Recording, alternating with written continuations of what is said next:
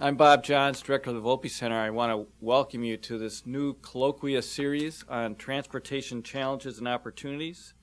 It's going to be a series that we use to address several uh, transportation issues, multiple modes, multiple disciplines, and our purpose really is to uh, provide thought leaders a forum to anticipate emerging issues and, and trends, such as our panelists today, and uh, also decision makers to suggest new approaches on addressing those trends.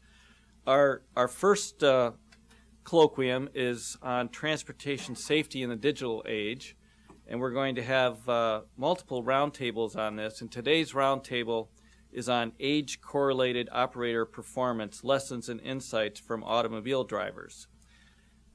This roundtable is going to explore driver performance limitations at both ends of the driver age spectrum as, as many of you know, motor fatalities and injuries uh, are disproportionately high in, in, in these two groups.